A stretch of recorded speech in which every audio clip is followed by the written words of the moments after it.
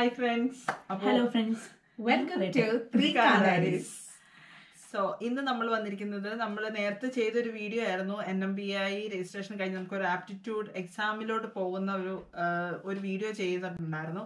അപ്പോൾ അതിനകത്ത് കുറേ പേര് ചോദിച്ചു എങ്ങനെ നമുക്ക് ആപ്റ്റിറ്റ്യൂഡ് ടെക്സ്റ്റിന് ടെസ്റ്റിന് പ്രിപ്പയർ ചെയ്യാം? അല്ലെങ്കിൽ എന്തൊക്കെയാണ് അതിന്റെ സ്റ്റേഷൻസ് അത് കാണാത്തവരാണെന്നുണ്ടെങ്കിൽ അതിന്റെ ഡീറ്റെയിൽസ് ഞങ്ങൾ ഇതിന്റെ ഡിസ്ക്രിപ്ഷൻ ബോക്സിൽ ഇടുന്നതായിരിക്കും.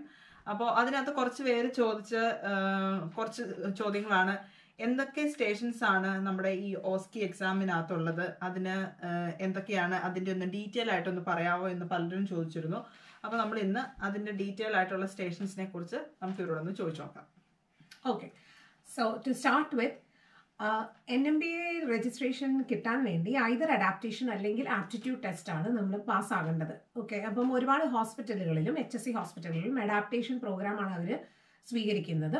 എന്നാൽ പെട്ടെന്ന് ഒരു രജിസ്ട്രേഷൻ കിട്ടാൻ ആപ്റ്റിറ്റ്യൂഡ് ടെസ്റ്റ് ആണ് എളുപ്പം. അതുകൊണ്ട് തന്നെ നഴ്സിംഗ് ഹോംസും ചില ഹോസ്പിറ്റലിൽ ഹോസ്പിറ്റൽസും ആപ്റ്റിറ്റ്യൂഡ് ടെസ്റ്റ് പ്രിഫർ ചെയ്യുന്നു. സോ ആപ്റ്റിറ്റ്യൂഡ് ടെസ്റ്റ് പറയുന്നത് ഒരു ഓസ്കി പ്രൊസീജിയർ ആണ് അവിടെ. അതായത് ഓരോ സ്റ്റേഷൻസും അവിടെ ഉണ്ടാക്കി വെച്ച് അതിനെ ഒരു സിമുലേഷൻ ആണ്. അതൊരു ആക്ട് ചെയ്യുവാണ്. അങ്ങനെ ഒരു പേഷ്യന്റ് ഉണ്ടെന്നും അങ്ങനെ ഒരു സിറ്റുവേഷൻ ഉണ്ടെന്നും ആസ് എ നേഴ്സ് നമ്മൾ എങ്ങനെ ആ സിറ്റുവേഷൻ ഡീൽ ചെയ്യുന്നു എന്നുള്ളതുമാണ് ഒരു ഓസ്കി അല്ലെങ്കിൽ ആറ്റിറ്റ്യൂഡ് ടെസ്റ്റിൽ സംഭവിക്കുന്നത്. അപ്പോൾ അവിടെ ഫോർട്ടീൻ ടു ട്വന്റി സ്റ്റേഷൻസ് ആണുള്ളത്. അതിനു മുമ്പ് പറയട്ടെ ഒരു തിയറിയും പ്രാക്ടിക്കലും ഉണ്ട്. രണ്ട് ദിവസമായിട്ട് നടത്തുന്ന എക്സാം ആണ്.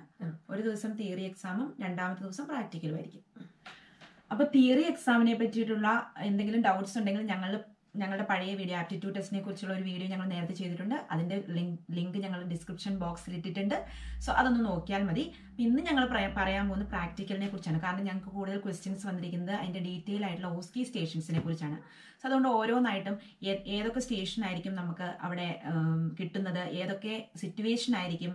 എന്തൊക്കെയാണ് നമ്മൾ ഡീൽ ചെയ്യേണ്ടത് എന്നുള്ളതാണ് നമ്മളിപ്പോൾ പറയാൻ പോകുന്നത്. സോ അതെ. അപ്പോൾ ജാനറ്റ് തുടങ്ങിക്കോളൂ. അപ്പൊ ഏതാണ് ആദ്യത്തെ station communication scenario and practical scenarios ഉണ്ടല്ലോ. അതെ. അപ്പൊ അതിൽ കമ്മ്യൂണിക്കേഷൻ സിനാരിയെ കുറിച്ച് നമുക്ക് തുടങ്ങാം. ഓക്കെ അപ്പൊ ടോട്ടൽ ഫോർട്ടീൻ സ്റ്റേഷൻസ് ആണ്. അതായത് പതിനാല് ഡിഫറെന്റ് റൂമുകൾ ഉണ്ട്. ആ റൂമുകളിലൂടെയാണ് നിങ്ങൾ പോകേണ്ടത് ഇതൊക്കെ നമ്മൾ ഇതിനു മുമ്പ് ഒരിക്കൽ പറഞ്ഞതാണ്. എന്നിരുന്നാൽ പോലും അങ്ങനെ ഓരോ റൂമിന്റെ അകത്തും ഓരോ തരത്തിലുള്ള അസുഖങ്ങളായിരിക്കാം അല്ലെങ്കിൽ കണ്ടീഷൻസ് ആയിരിക്കും അവർ റെപ്രസെന്റ് ചെയ്യുന്നുണ്ടാവുക. അപ്പൊ അതിനെ എങ്ങനെ ഡീൽ ചെയ്യുന്നു? അപ്പൊ ടോട്ടലി ഫിഫ്റ്റി പെർസെന്റേജും കമ്മ്യൂണിക്കേഷൻ സിനാരിയോസ് ആണ്. ഫിഫ്റ്റി പെർസെന്റേജും ഹാൻഡ്സ് ഓൺ സിനാരിയോസ് അത് നമ്മൾ തന്നെ ചെയ്യേണ്ട scenarios for example like wound dressing അല്ലെങ്കിൽ I V infusion C P R അങ്ങനെയുള്ള കാര്യങ്ങളാണ് അൻപത് ശതമാനം. അൻപത് ശതമാനം കമ്മ്യൂണിക്കേഷൻ ആണ്. ഈ അൻപത് ശതമാനം കമ്മ്യൂണിക്കേഷൻ എന്ന് പറയുമ്പോൾ കമ്മ്യൂണിക്കേഷൻ വളരെ ഇമ്പോർട്ടന്റ് ആണ്. അത് ഈ പ്രാക്ടിക്കൽ സെഷനിലും അതായത് നമ്മളിപ്പോൾ ഒരു വൂൺ ഡ്രസ്സിങ് ചെയ്യുവാണ്. ചുമ്മാ പോയി നമുക്ക് വൂൺ ഡ്രസ്സിങ് ചെയ്യാൻ പറ്റത്തില്ല. നമ്മൾ ആ പേഷ്യനെ കാണുമ്പോൾ മുതൽ ഹലോ ഗുഡ് മോർണിംഗ് എന്ന് പറഞ്ഞു തുടങ്ങുന്നത് മുതൽ how are you are you feeling okay can I have a look at you wound എന്ന് പറഞ്ഞു നമ്മൾ എന്നിട്ട് ആ വൂണ്ട് ഡ്രസ് അതുപോലെ ഇൻട്രൊഡ്യൂസ് ചെയ്യുന്നു നമ്മൾ. നമ്മളൊന്നും ചെയ്യാതെ അതായത് നമ്മൾ പ്രാക്ടീസ് ചെയ്യാത്ത ഒരു കാര്യമാണ്. നമ്മൾ നാട്ടിലൊക്കെ വർക്ക് ചെയ്യുമ്പോൾ നമ്മൾ ഒരിക്കലും ഒരു പേഷ്യന്റിന്റെ അടുത്ത് പോയിട്ട് ഞാൻ ഇന്ന ആളാണ് ഞാൻ ആണ് ഇന്ന് നിങ്ങൾക്ക് അസൈൻ ചെയ്തിരിക്കുന്ന ദിവസം ഒന്നും പറയാറില്ല. പക്ഷെ ഇവിടെ നമ്മൾ നമ്മളെ ഇൻട്രൊഡ്യൂസ് ചെയ്യുന്നു. അതുപോലെ തന്നെ അവരെ ഐഡന്റിഫൈ ചെയ്യുന്നു. അതിനുശേഷം ഈ പറഞ്ഞതുപോലെ ഗ്രീറ്റ് ചെയ്ത് നമ്മൾ തുടങ്ങുകയാണ്. അന്ന് നമ്മളിപ്പോൾ വൂണ്ട് എന്നിട്ട് പഴയ ഒരു വൂണ്ട് ഡ്രസ്സിങ് അതിന്റെ മുകളിൽ നിന്ന് എടുത്ത് മാറ്റുവാണെങ്കിൽ നമ്മൾ പറയണം sorry I'm just gonna lift up the old dressing would you mind so അവർ ഇല്ല ഇറ്റ്സ് ഓക്കെ എന്ന് പറയുമ്പോൾ നമ്മൾ അത് പതുക്കെ എടുക്കുന്നു. Okay I you feeling any pain or is it sore എന്നൊക്കെ നമ്മൾ അവരോട് ഇങ്ങനെ കമ്മ്യൂണിക്കേറ്റ് ചെയ്തുകൊണ്ടിരിക്കുകയാണ്. ഓക്കെ വൂൺ ഡ്രസ്സിങ് നമ്മൾ പഴയതും തുറന്നതിന് ശേഷം നമ്മൾ വൂണ്ട് കാണുന്നു. ഓ it's very good it's healing very well and there is no ooze or any bleeding from the wound so I'm happy about the wound എന്നൊക്കെ നമ്മളിങ്ങനെ കമ്മ്യൂണിക്കേറ്റ് ചെയ്തുകൊണ്ടേ ഇരിക്കുകയാണ്. നമ്മളൊരു ഡ്രസ്സിങ് ചെയ്യുന്ന സമയത്താകട്ടെ I'm gonna dry it or അല്ലെങ്കിൽ I'm gonna clean it with a wet cotton so you will be feeling wetness or you will be feeling cold sorry for that എന്നൊക്കെ പറഞ്ഞ് നമ്മൾ എപ്പോഴും സംസാരിക്കുകയാണ്. അതുകൊണ്ടാണ് പറയുന്നത് കമ്മ്യൂണിക്കേഷൻ വളരെ ഇമ്പോർട്ടന്റ് ആണ്. നമുക്ക് നാട്ടിൽ നമ്മൾ പ്രാക്ടീസ് ചെയ്യുമ്പം നമുക്കത് വളരെ ലാക്ക് ചെയ്യുന്ന ഒരു കാര്യമാണ്. നമ്മളൊരു മൂൺ ഡ്രസ്സിങ്ങിന് പോവുകയാണെങ്കിൽ നേരെ ചെല്ലുന്നു. ഇത് മുറിവ് കെട്ടാൻ വന്നതാണെന്ന് നമ്മൾ പറയുന്നു. പൊളിക്കുന്നു തേക്കുന്നു ഒട്ടിക്കുന്നു പോകുന്നു. അതോടെ നമ്മൾ പരിപാടി കഴിഞ്ഞു. പക്ഷേ ഇവിടെ നമുക്കത് പറ്റത്തില്ല. നമ്മൾ എപ്പോഴും കമ്മ്യൂണിക്കേറ്റ് ചെയ്യണം. അല്ലാതെ ഇനി കമ്മ്യൂണിക്കേഷന് മാത്രമുള്ള സിനാരിയോ എന്ന് വിചാരിക്കുക. ഫോർ എക്സാമ്പിൾ പറയുകയാണ് ഇപ്പോൾ ഒരു പേഷ്യന്റിന്റെ റിലേറ്റീവ് നമ്മുടെ ഹോസ്പിറ്റലിൽ കിടക്കുന്നു മരിക്കാൻ കിടക്കുന്നു. ഓക്കെ പെട്ടെന്ന് സിക്കായി മരിക്കാൻ കിടക്കുന്നു. നമ്മൾ നമ്മുടെ ആ- റിലേറ്റീവിനെ വിളിച്ച് വിവരം പറയണം. സോ നമ്മൾ ഹോസ്പിറ്റലിലാണെങ്കിൽ നമ്മുടെ നാട്ടിലെ ഹോസ്പിറ്റലിലാണെങ്കിൽ റിലേറ്റീവ്സ് എപ്പോഴും പേഷ്യന്റ് അടുത്തുണ്ട്. മരിക്കാൻ കിടക്കുന്നോ ഇല്ലയോ എന്നൊക്കെ അവർക്ക് എപ്പോഴും കാണാൻ പറ്റും. പക്ഷെ ഇവിടെ അതല്ല സിറ്റുവേഷൻ അപ്പോൾ നമ്മൾ അവരെ വിളിച്ചു പറയുമ്പോൾ ചില റിലേറ്റീവ്സ് വളരെ സങ്കടകരമായിട്ടായിരിക്കും അത് എടുക്കുന്നത്. അവർ നമ്മളോട് കരഞ്ഞു കാണിക്കും ഒക്കെ ചെയ്യും. എന്നാൽ ചിലവർ നമ്മളോട് വളരെ അഗ്രസീവ് ചോദിക്കും ബിഹേവ് ചെയ്യുന്നത് നിങ്ങളുടെ കെയർ കുറവ് കാരണമാണ് എന്റെ അപ്പനോ അമ്മയോ മരിക്കാൻ കിടക്കുന്നത് എന്നുള്ള രീതിയിൽ ഏത് തരത്തിലുള്ള റിലേറ്റീവ്സ് ആണെങ്കിലും അവരെ എങ്ങനെ നമ്മൾ ഡീൽ ചെയ്യും എന്നുള്ളത് നമ്മൾ പഠിക്കേണ്ട ഒരു കമ്മ്യൂണിക്കേഷൻ ഒരു സ്കില്ലാണത് യെസ് അപ്പം അതൊക്കെയാണ് ഈ ഒരു എക്സാമിൽ ചോദിക്കുന്നത്. മറ്റൊരു എക്സാമ്പിൾ ആണെങ്കിൽ കെയർ പ്രൊവൈഡ് ചെയ്തത് മോശമായി പോയി. അതിനെപ്പറ്റി അവർക്കൊരു കംപ്ലൈന്റ് ചെയ്യണം. നമ്മൾ എങ്ങനെ അവരെ ഡീൽ ചെയ്യും? അത്തരത്തിലുള്ള ഒരുപാട് കമ്മ്യൂണിക്കേഷൻ സിനാരിയോസ് ഈ ആപ്റ്റിറ്റ്യൂഡ് ടെസ്റ്റിൽ ഉണ്ടായിരിക്കും. അതുപോലെ തന്നെ ഹാൻഡ്സ് ഓൺ സിനാരിയോസും ഇപ്പൊ ചില സിനാരിയോസിനെ പറ്റി ഇപ്പൊ രമ്യക്ക് പറയാൻ പറ്റും. കാരണം നമ്മളിപ്പോൾ ഒരു പേഷ്യന്റ് ചെസ്റ്റ് പെയിൻ ആയിട്ടിരിക്കുന്ന ഒരു പേഷ്യന്റിനോട് നമ്മൾ എങ്ങനെ കമ്മ്യൂണിക്കേറ്റ് ചെയ്യുന്നു? അപ്പോൾ എങ്ങനെയാണ് അവരെ അസസ് ചെയ്യുന്നത്? സോ അസസ്മെന്റ് അതുപോലെ തന്നെ എന്താണ് നമ്മുടെ പ്ലാനിങ് എന്താണ് നമ്മൾ ചെയ്യാൻ പോകുന്നത്? സോ അത് നമ്മൾ ആദ്യമേ തന്നെ അവരുടെ അടുത്ത് എക്സ്പ്ലെയിൻ ചെയ്യണം. അതുപോലെ തന്നെ നമ്മൾ എന്ത് ചെയ്യുമ്പോൾ ചെസ്റ്റ് പെയിൻ ഒരു പെയിനെ കുറിച്ച് ചോദിക്കുകയാണെങ്കിൽ പോലും can I ask you some details regarding pain so they are, are are if they are okay only, നമുക്ക് പ്രൊസീഡ് ചെയ്യാൻ പറ്റുള്ളൂ. സോ അത് അവിടെയാണ് ജാനറ്റ് പറഞ്ഞ പോലെ കമ്മ്യൂണിക്കേഷന്റെ പ്രസക്തി എന്ന് പറയുന്നത്. സോ അവരോട് എല്ലാവിധ പെർമിഷനും ചോദിച്ചതിന് ശേഷം നമ്മൾ പെയിൻ ആണെങ്കിൽ ഒരു പേഷ്യന്റ് ചെസ്റ്റ് പെയിൻ കംപ്ലൈന്റ് ചെയ്തു. സോ ആ പെയിന്റെ ക്യാരക്ടറിസ്റ്റിക്സ് ചോദിച്ചു. പെയിൻ അസസ് ചെയ്തു. പെയിൻ സ്കോർ അസസ് ചെയ്തു. അതിനുശേഷം നമ്മൾ അവരോട് കമ്മ്യൂണിക്കേറ്റ് ചെയ്യണം ഞാൻ എന്താണ് ചെയ്യാൻ പോകുന്നത്. നമ്മുടെ നാട്ടിൽ ചെസ്റ്റ് പെയിൻ എന്ന് പറഞ്ഞാൽ ഉടനെ എടുത്ത് എടുത്ത് എടുത്തടിച്ച പോലെ ഐസിയുലേക്ക് ഉമ്പി കൊണ്ടുപോകുന്നു. എന്നിട്ട് ബാക്കി എന്തൊക്കെയോ അവിടെ സംഭവിക്കുന്നു.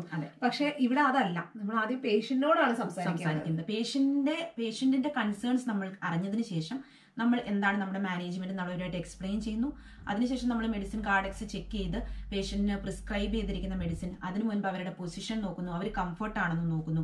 അതിനുശേഷം ഡോക്ടറിന്റെ ഓർഡേഴ്സ് ചെക്ക് ചെയ്ത് അതും കൗണ്ടർ ചെക്ക് ചെയ്ത് ഡബിൾ ചെക്ക് ചെയ്ത് സോറി ഡബിൾ ചെക്ക് ചെയ്തതിന് ശേഷമാണ് നമ്മൾ ആ മെഡിസിൻ അവർക്ക് കൊടുക്കുകയുള്ളൂ. അതും ആ മെഡിസിൻ കൊടുക്കുന്നതിന് മുൻപ് അത് എന്ത് മെഡിസിൻ ആണ്? അതിന്റെ ആക്ഷൻ എന്താണ്? അതിന്റെ സൈഡ് ഇഫക്റ്റ് എന്താണ്? ഇതുമൂലം എന്താണ് എക്സ്പെക്ട് ചെയ്യുന്നത്? സോ പേഷ്യന്റിന് ഇനി ഈ ഒരു ഒരു ഡോസ് കൊടുത്തതിന് ശേഷം അവർക്ക് പെയിൻ കുറഞ്ഞില്ല എങ്കിൽ നമ്മൾ എന്താണ് അടുത്ത സ്റ്റെപ്പ് ഇതെല്ലാം അവരുമായിട്ട് കമ്മ്യൂണിക്കേറ്റ് ചെയ്യണം.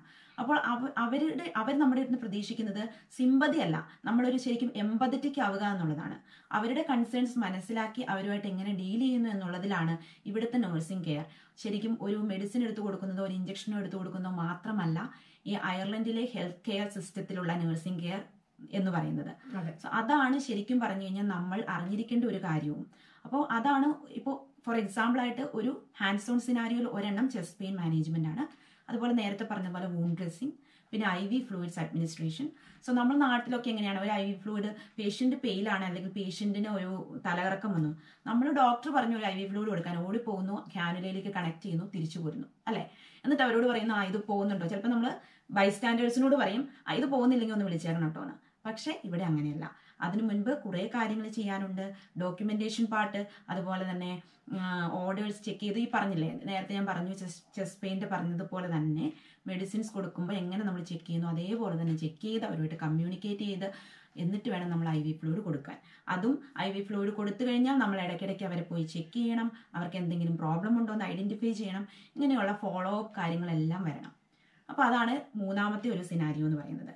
പിന്നെ ഈ പറഞ്ഞ പോലെ അക്യൂട്ട് മാനേജ്മെന്റിലാണ് ചെസ്റ്റ് പെയിൻ പറഞ്ഞത് അതിന്റെ ഒപ്പം സി പി ആർ അതായത് ഒരു ഹാർട്ട് ഫെയിലിയർ ഒരു ഹാർട്ട് അറ്റാക്ക് വന്ന ഒരു പേഷ്യന്റിന് നമ്മൾ ഇങ്ങനെ സി പി ആർ പ്രൊവൈഡ് ചെയ്യുന്നു അതാണ് അടുത്തൊരു സ്റ്റേഷൻ അത് ഒന്നെങ്കിൽ ചെസ്റ്റ് പെയിൻ ആയിരിക്കാം ചെസ്റ്റ് പെയിൻ മാനേജ്മെന്റ് ആയിരിക്കാം അല്ലെങ്കിൽ സി പി ആർ ആയിരിക്കാം അല്ലെങ്കിൽ G T N sorry G T N already പറഞ്ഞു പിന്നെയുള്ളത് G C S G C S അതായത് ഹെഡ് Assessment. അസസ്മെന്റ് ഇങ്ങനെയുള്ളതൊക്കെയാണ് ഹാൻഡ്സ് ഓൺ സിനാരിയോയിൽ പിന്നെ മെഡിസിൻ അഡ്മിനിസ്ട്രേഷൻ അത് അടുത്ത ഒരു സ്റ്റേഷനാണ്. അപ്പൊ മെഡിസിൻ അഡ്മിനിസ്റ്റർ ചെയ്യുമ്പം നമ്മുടെ നാട്ടിൽ നമ്മൾ എങ്ങനെയാണ് മെഡിസിൻ കൊടുക്കാൻ ചെല്ലുമ്പോൾ കുറെ ഗുളിക എല്ലാം കൂടെ വാരിയെടുക്കും അവരുടെ കൈ കൊണ്ടു കൊടുക്കും വിഴുങ്ങിക്കൊള്ളാൻ പറയും. അതെ ഇനി അവർ പറയാണ് അതെ ഇനി അവർ പറയാണ് എന്തിന്റെ മരുന്നാണ് ഇതെന്ന് പറഞ്ഞാൽ ചിലപ്പോൾ നമുക്ക് പറയാൻ അറിയണ്ടാവില്ല അല്ലെ? എല്ലാം ഒന്നും ഡീറ്റെയിൽ ആയിട്ട് നമുക്ക് അറിയത്തുണ്ടാവില്ല. അപ്പൊ നമ്മൾ പറയും അത് ഡോക്ടറോട് ചോദിക്കാൻ പറയും അല്ലെ? ഇവിടെ പക്ഷെ നമ്മൾ അങ്ങനെ ചോദിച്ചു കഴിഞ്ഞാൽ അവർ ഒരിക്കലും ഹാപ്പി ആവത്തില്ല. അപ്പോൾ നമ്മൾ കൊടുക്കുന്ന മരുന്നുകൾ എന്താണെന്നും അതിന്റെ ആക്ഷൻ എന്താണെന്നും അതിന്റെ സൈഡ് ഇഫക്റ്റ് ആണെന്നും സൈഡ് ഇഫക്റ്റ് എന്താണെന്നും പേഷ്യന്റിന് കൊടുക്കേണ്ട എഡ്യൂക്കേഷൻ എന്താണെന്നും വ്യക്തമായിട്ട് അറിഞ്ഞിട്ട് വേണം നമ്മൾ ആ മെഡിസിൻ കൊടുക്കാൻ വേണ്ടിയിട്ട്. അവർ റെഫ്യൂസ് ചെയ്യാനുള്ള അധികാരം അവർക്കുണ്ട്. നമ്മുടെ നാട്ടിൽ ഒരാൾ എനിക്ക് മരുന്ന് വേണ്ടാന്ന് പറഞ്ഞു കഴിഞ്ഞാൽ നമ്മൾ അവരോട് രണ്ട് ചാടിക്കും അല്ലേ? നിങ്ങൾ കഴിച്ചു. പറ്റുള്ളൂ. അതെ ഡോക്ടർ പറഞ്ഞ സംഭവമാണ് നിങ്ങൾ കഴിക്കാതിരിക്കാൻ പറ്റത്തില്ല എന്ന് പറയും. പക്ഷെ ഇവിടെ അങ്ങനെയല്ല ഇവിടെ അവർക്ക് റിഫ്യൂസ് ചെയ്യാനുള്ള അധികാരമുണ്ട്. If they are refusing to take medications then it's their right so we can't force them to do that so അതാണ് മെഡിസിൻ അഡ്മിനിസ്ട്രേഷന്റെ കാര്യത്തിൽ പറയാനുള്ളത്. സോ മെഡിസിൻ അഡ്മിനിസ്റ്റർ ചെയ്യുമ്പോൾ ഒരു ഇതുപോലുള്ള കുറേ കാര്യങ്ങൾ ശ്രദ്ധിക്കണം. കമ്മ്യൂണിക്കേഷൻ ഈ പറഞ്ഞ പോലെ വളരെ വളരെ വളരെ ഇമ്പോർട്ടന്റ് ആയിട്ടുള്ള ഒരു കാര്യമാണ്. അതുപോലെ തന്നെ മറ്റൊരു സ്റ്റേ- സ്റ്റേഷൻ എന്ന് വേണം പറയാൻ ഒരു ഹെൽത്ത് എഡ്യൂക്കേഷൻ എന്ന് പറയുന്നത്. നമ്മുടെ നാട്ടിൽ ഇപ്പോൾ ഒരു പേഷ്യന്റ് ഡിസ്ചാർജ് ആയി പോകുമ്പോൾ യൂഷ്വലി ഒന്നുകിൽ പി ജി ഡോക്ടേഴ്സ് അല്ലെങ്കിൽ ആരാണോ നഴ്സ് അവരെ ഡിസ്ചാർജ് റെഡിയാക്കുന്നത് അവർ ജസ്റ്റ് ആ ഡിസ്ചാർജ് സമറിയുടെ ഷീറ്റും കൊടുക്കും എന്നിട്ട് അടുത്ത ഫോളോ അപ്പിന് വന്നാൽ മതി. എന്ന് നമ്മൾ ജസ്റ്റ് ഒരു ഒന്നിങ്ങനെ ഒന്ന് ഓടിച്ചിട്ടാണ് നമ്മൾ ഒരു ഡിസ്ചാർജ് സമറി എക്സ്പ്ലെയിൻ ചെയ്യുന്നത്. പക്ഷേ ഇവിടെ അങ്ങനെയല്ല. ഇപ്പോൾ ഒരു പേഷ്യന്റ് ഡിസ്ചാർജ് ആയി പോകുമ്പോൾ അവർ എങ്ങനെയാണ് അവരുടെ മെഡിക്കേഷൻ എടുക്കേണ്ടത്? എന്തൊക്കെ കാര്യങ്ങൾ അവർ വീട്ടിൽ ചെന്നാലും ശ്രദ്ധിക്കണം? എന്ത് എന്ത് ടൈപ്പിലുള്ള ഫുഡ് കഴിക്കാം എന്നാണ് അവർ ഫോളോ അപ്പിന് വരുന്നത് അങ്ങനെ കറക്റ്റ് ആയിട്ട് ഒരു ഡീറ്റെയിൽഡ് ആയിട്ട് ഒരു സമ്മറിയാണ് നമ്മൾ ഇവിടെ നഴ്സിംഗ് കെയറിൽ അവർ കൊടുക്കുന്നത്. അതുപോലെ തന്നെ ഇപ്പോൾ ഒരു പേഷ്യന്റ് ഒരു സർജറി പോയി സർജറി കഴിഞ്ഞ് പോസ്റ്റ് ഓപ്പ് കഴിഞ്ഞ് വാർഡിലോട്ട് വന്നു അല്ലെങ്കിൽ പോസ്റ്റ് ഓപ്പിലാണെങ്കിൽ പോലും അവർ ഹെൽത്ത് എഡ്യൂക്കേഷൻ നന്നായിട്ട് കൊടുക്കും. എന്ത് ചെയ്യണം എന്ത് ചെയ്യാൻ പാടില്ല എന്തൊക്കെയാണ് അവർ ശ്രദ്ധിക്കേണ്ട കാര്യങ്ങൾ എന്നൊക്കെ ഉള്ളത്.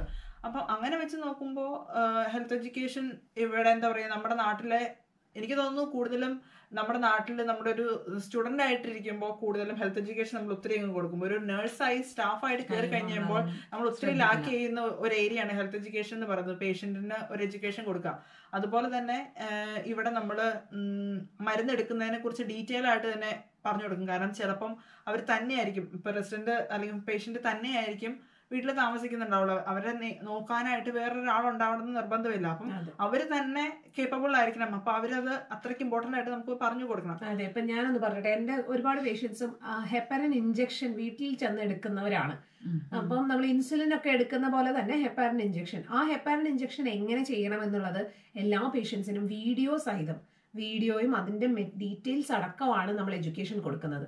ഒരു വീഡിയോ കാണിച്ചു കൊടുത്ത്. പിന്നെ അതിന്റെ ഒരു പേപ്പർ ഫോമാറ്റ് കൊടുത്ത്. ബുക്ക്ലെറ്റ്സ് കൊടുത്ത് വിശദീകരിച്ചു കൊടുത്ത് അവരെ കൊണ്ട് രണ്ടു പ്രാവശ്യം സ്വന്തമായിട്ട് ചെയ്യിപ്പിച്ച് പിന്നെ നമ്മളൊരു ഷാപ്സ് കണ്ടെയ്നർ വരെ കൊടുത്താണ് വീട്ടിലേക്ക് അവരെ പറഞ്ഞു വിടുന്നത്. അപ്പം അത്രയും ഡീറ്റെയിൽഡ് ആയിട്ടാണ് നമ്മളൊരു നഴ്സിംഗ് കെയർ നമ്മൾ ആ ഒരു ബെഡിൽ കിടക്കുമ്പോൾ മാത്രം അവസാനിക്കുന്നില്ല. അവർ വീട്ടിലേക്ക് പോകുമ്പോഴും അതിന്റെ ഒരു എഫക്റ്റ് കൊണ്ടാണ് പോകുന്നത്. പോകുന്നത്. അപ്പോൾ ഒരു കാര്യം കൂടി ഞാൻ ചോദിച്ചോട്ടെ. അതായത് നമ്മളിപ്പോ ഒരു പേഷ്യന്റ് വീട്ടിൽ പോകുമ്പോൾ അവർ കേപ്പബിൾ അല്ല. മെഡിസിൻ എടുക്കാൻ കേപ്പബിൾ അല്ല. അല്ലെങ്കിൽ അവർക്ക് ഒരു പേഴ്സണൽ കെയർ ചെയ്യാൻ കേപ്പബിൾ അല്ല. അപ്പൊ നമുക്ക് നമ്മുടെ മൾട്ടി ഡിസിപ്ലിന ഡിസിപ്ലിനറി ടീം ഒക്കെ ഉണ്ടല്ലോ. അതൊരു നല്ല ക്വസ്റ്റൻ ആണ്. അത് സ്റ്റേഷൻസിലും വരുന്നുണ്ട്. ഓസ്കി സ്റ്റേഷൻസിലും അങ്ങനെ ഒരു പാർട്ട് ഉള്ളതാണ്. മൾട്ടി ഡിസിപ്ലിനറി ടീം കെയർ എങ്ങനെയാണ് എന്നുള്ളത്. സോ ഇവിടെ ഓക്യുപേഷണൽ തെറപ്പിസ്റ്റ് എന്ന് പറയുന്ന ആൾക്കാരുണ്ട്. ഫിസിയോ തെറപ്പിസ്റ്റ് പിന്നെ ഡയറ്റീഷ്യൻ ടിഷ്യൂ വയബിലിറ്റി നോ സ്പെഷ്യലിസ്റ്റ് അങ്ങനെ ഒരുപാട് കാറ്റഗറീസ് ഉണ്ട്. അപ്പൊ ഇവരുടെ എല്ലാവരുടെയും കൂടി ഉള്ള ഒരു ടീം കെയർ അപ്രോച്ചാണ് അത് എങ്ങനെയാണ് നമ്മൾ ഈ ഓസ്കി സ്റ്റേഷൻസിൽ ഉപയോഗിക്കുന്നത് എന്നുള്ളതും ഒരു എക്സാം ക്വസ്റ്റ്യൻ ആണ്. ഓക്കെ സോ ഇത്രയൊക്കെയാണ് ഇപ്പം സത്യത്തിൽ ഓവറോൾ ആയിട്ട് പറയാനുള്ളത്. കമ്മ്യൂണിക്കേഷൻ ആയിട്ടും അല്ലാതെയും ഉള്ള സ്റ്റേഷൻസ് പലതും. ഇപ്പൊ നമ്മൾ പറഞ്ഞ സ്റ്റേഷൻസ് അല്ലാതെ മറ്റ് സ്റ്റേഷൻ സീഷർ മാനേജ്മെന്റിന്റെ സ്റ്റേഷൻസ് ഉണ്ട്. പിന്നെ സ്റ്റുഡന്റ് ടീച്ചിങ്ങിന്റെ സ്റ്റേഷൻസ് ഉണ്ട്. അത് ആ ടോപ്പിക്സ് മാറി മാറി വരാം. നമ്മൾ ഇതിന് മുമ്പ് ഒരു വീഡിയോയിൽ പറഞ്ഞിട്ടുണ്ട്. എല്ലാ ടോപ്പിക്സും ആർ സി എസ് എ വെബ്സൈറ്റിൽ കൊടുത്തിട്ടുണ്ട്. ആ ടോപ്പിക്സിനെ പറ്റിയാണ് ചോദ്യങ്ങൾ വരുന്നത്. ചോദ്യത്തിന്റെ രീതിയിൽ മാത്രമേ വ്യത്യാസം വരാറുള്ളൂ. പക്ഷെ ടോപ്പിക്സ് എല്ലാം സെയിം തന്നെയാണ് അവർ ചോദിക്കാറുള്ളത്. പിന്നെ നമ്മുടെ ക്യാൻ ഈ കുട്ടികളൊക്കെ വന്നു കഴിയുമ്പോൾ അവർക്ക് ബുദ്ധിമുട്ട് അനുഭവിക്കുന്നതെന്ന് പറഞ്ഞിട്ടുണ്ടെങ്കിൽ അവർ ഈ പറഞ്ഞില്ലേ ഒരു ഡിഫറെന്റ് സിറ്റുവേഷനിൽ വന്നിട്ട് പിന്നെ ഒരു പുതിയൊരു എൻവയോൺമെന്റിലോട്ട് വന്ന് പെട്ടെന്ന് ഒരു പത്ത് മിനിറ്റിനുള്ളിൽ ഒരു സ്റ്റേഷൻ കൈകാര്യം ചെയ്യുക എന്നൊക്കെ പറയുമ്പോൾ അവർക്ക് ഒരുപാട് ബുദ്ധിമുട്ടുകളുണ്ട്. നമ്മൾ പാനിക്കായി ആയി പോകും അപ്പോഴൊക്കെ അവർ ചോദിക്കുന്ന ക്വസ്റ്റിന് അതിന്റെ ആൻസർ കൊടുക്കാൻ അവർക്ക് പറ്റത്തില്ല. പറ്റാറില്ല. ഇപ്പൊ അറിയാം. നമുക്കിപ്പോൾ അറിയാം ഓൺലൈൻ ട്രെയിനിങ്സ് അതുപോലെ തന്നെ ഡയറക്റ്റ് ട്രെയിനിങ്സ് ഒക്കെ എടുത്തിട്ടാണ് കുട്ടികൾ വരുന്നത്.